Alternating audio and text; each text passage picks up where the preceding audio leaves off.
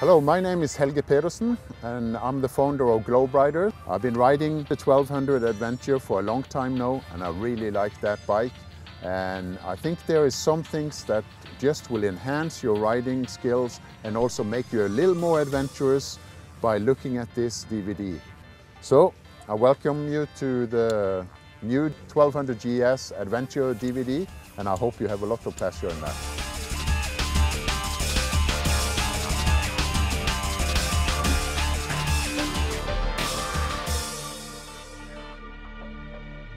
What we are going to discuss in this video is everything related to the 1200 GS and how to go adventure touring with this bike.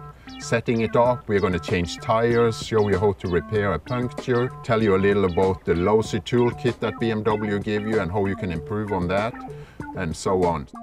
So the purpose of this video here is to tell you a little about what can you do on the road yourself, what shouldn't you do, how to pack it, what do you take of spare parts with you, and see if we can give you some good pointers so you have a lot of uh, good trips with this beautiful bike and also the normal GS.